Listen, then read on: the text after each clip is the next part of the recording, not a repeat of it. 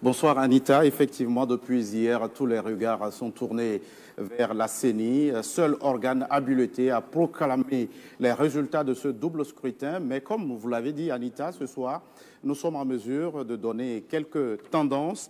Et Anita, vous avez une idée de la situation dans la circonscription électorale de Meaux.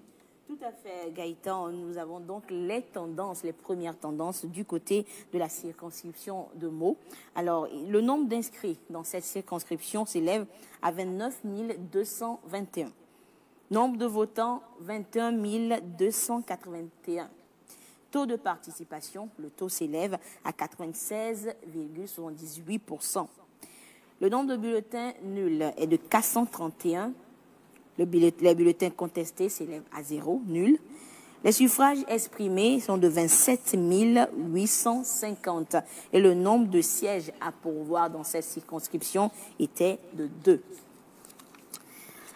la liste des candidats à présent, toujours dans la circonscription de Meaux, pour les élections euh, législatives, les élections donc des députés.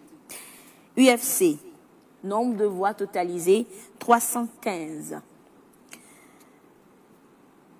Unir, Union pour la République. Nombre de voix, 25 554.